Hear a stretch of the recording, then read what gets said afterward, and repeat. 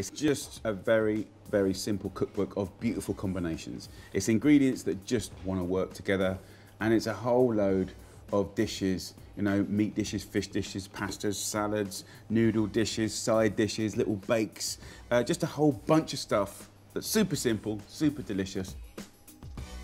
As simple as this book is, like there's so much work gone into it, so much testing. By simplifying, you have to focus on the technique. Um, and really the technique's all about just flavour and texture. From cooking the perfect steak to, you know, doing the most incredible, you know, stir-fried rice or dressing a salad in the most delicious way that gives it another dimension. So it's kind of like, not only is it simple, but it's kind of about super techniques. I haven't got a favourite recipe. It's lots of ideas, lots of bits and pieces. Um, yes, there are complete meals, but there's lots of incomplete meals, just like great side dishes, great things to do with rice. There's loads in there that you're going to want to do, but not necessarily all at the same times.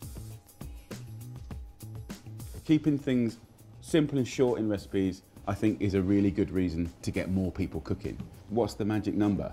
you know, is it three, is it four, is it six? And five just kept it really simple, but I like repeating it. It kind of made me feel like uh, there was a really nice rhythm to it. And as I started testing it with other people, they could remember the ingredients off the top of their head.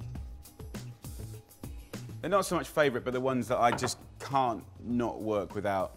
Uh, good quality extra virgin olive oil is like is the soul of cooking. A really lovely, leafy, unwaxed lemon. I mean, the stuff you can do with a lemon, man, is just unbelievable. It transforms food. Herbs are everything. If there were no herbs, I, would give up cooking tomorrow. I'd just give up. Tomatoes, they're just the best thing ever, aren't they? You can do so many things with them.